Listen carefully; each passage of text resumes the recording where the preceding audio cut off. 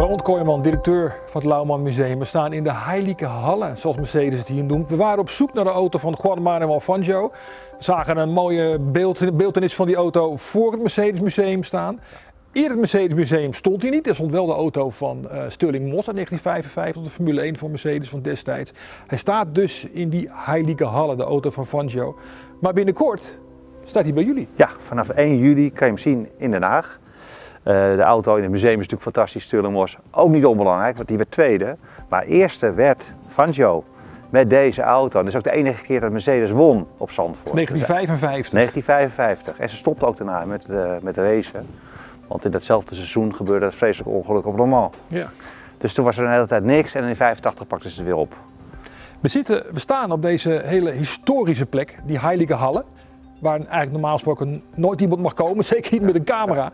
Wij wel, maar dat komt ook door jullie goede contacten als Lauwman Museum met de hele Mercedes-organisatie. Nou, we hebben een langdurige samenwerking al met Mercedes. We hebben al meerdere tentoonstellingen gehad met Mercedes-auto's. De uit de jaren 30, we hebben uit de jaren 50 gedaan. En nu dan Formule 1, waar deze auto niet kan ontbreken.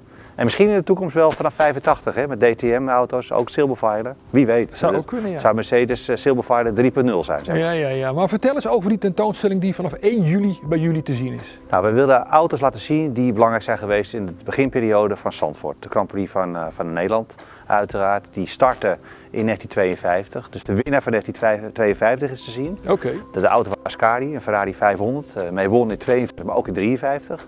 We hebben de winnende auto's ja, van Mercedes natuurlijk te zien in 55. Van Gio himself. De winnende auto in 59, dat is de BRM van, uh, van uh, Joe Bonnier.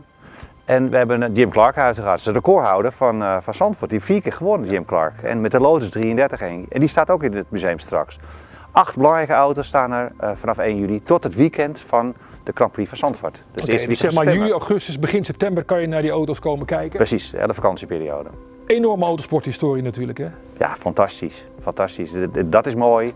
Maar de auto's die hier, uh, hier allemaal staan zijn fantastisch natuurlijk. En uh, nou, dus meerdere van deze auto's die zijn al geweest bij ons. Ja, maar er staan nog zat die alsnog een keer ja, terug kunnen komen over jullie weer. We, we houden samenwerking goed in stand. En uh, we hebben ook belangrijke Mercedes auto's in de collectie.